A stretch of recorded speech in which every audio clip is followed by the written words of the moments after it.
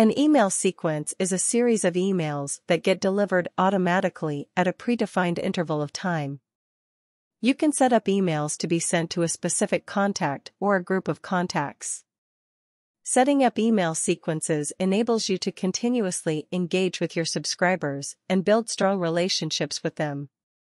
It enhances their experience and improves their value as a lead, leading to the chances of increased conversion. An email sequence is a great way to send regular blog updates, product news, and newsletter. Let's create an email sequence.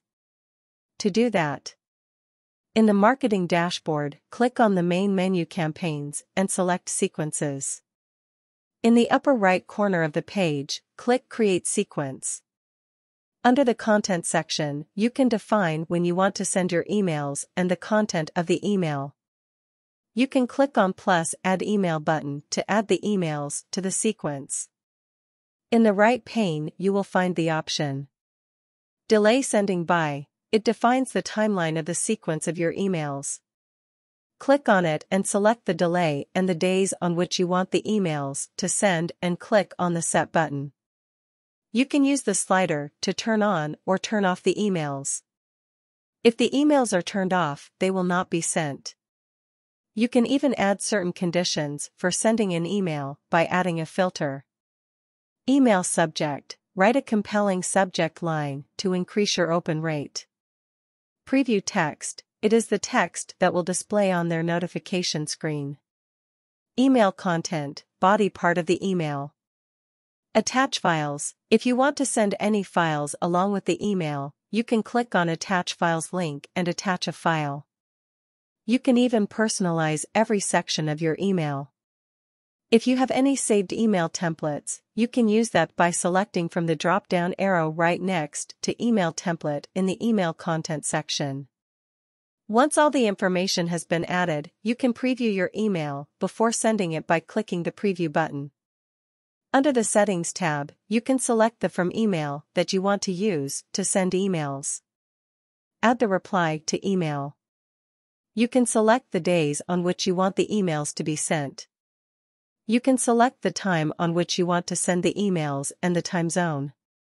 Under the link tracking you can select any of the options like yes and push, yes and push email only, yes, no. You can also select a list of contacts that you want to exclude from the sequence and also apply a filter. If you want to duplicate the sequence, please click on Duplicate the Sequence button and the sequence will be duplicated. Once you have configured all the conditions, click on the pencil icon on the top left and enter the name of the sequence and click on the Submit button. Finally, click on the Save button on top right to save the sequence. You can add contacts to the sequence basically in two ways. 1. Through an automation. Let's create an automation.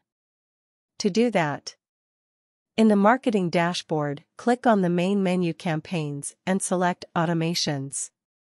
Click on Create Automation on the top right. From the pop-up that appears, click on Start from Scratch and select Continue. Click on Create Automation and select the trigger. You can select any trigger of your choice, like Contact Created, Joins a Form, Tag Added or any other. Let's select Tag Added and select the tag EB2 from the drop-down and click on Add Event button. Now, click on the big plus icon on the top right and add an action node. Add to sequence. Select the sequence from the drop-down and click the button Add Action. Connect the nodes. Click on the Save button and make sure the status is published. This automation will add the contact to the sequence automatically when we add a tag EB2 to the contact. 2. Add contacts to the sequence manually. To do that, please click on the main menu Contacts and select Contacts. Select the contacts that you want to add to the sequence. Click on Bulk Action. Select Add to Sequence. Select the sequence from the drop-down and click on the Submit button. All the selected contacts will be added to the sequence.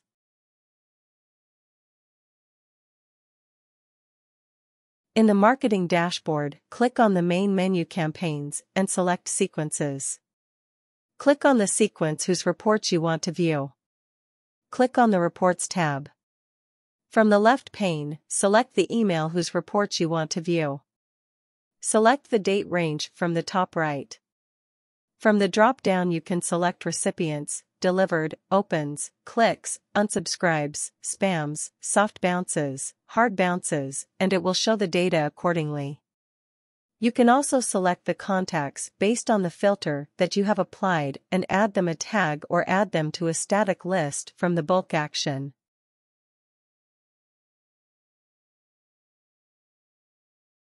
In the marketing dashboard, click on the main menu campaigns and select sequences. Click the three dots to the right of the sequence and you will find four options. 1. Edit It is used to edit the sequence. 2. Delete It is used to delete the sequence. 3. Download reports It is used to download the reports of the sequence. Click on it and select the fields that you want on the report and click on the button Download Report. 4. Activities It shows the activities that are performed on the sequence.